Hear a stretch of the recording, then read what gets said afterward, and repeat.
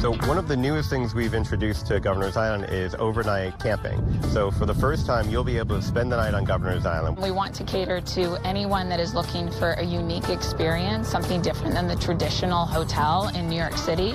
And if one is a New Yorker and they just want to get away from the city and truly disconnect, um, they can feel like they're out in the open outdoors. The Colorado-based company Collective Retreats is your glamping host.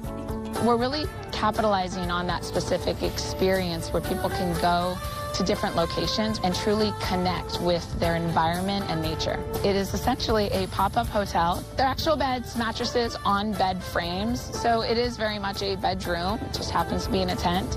Um, and also you unzip and you open up and you take a look at Manhattan and Lady Liberty.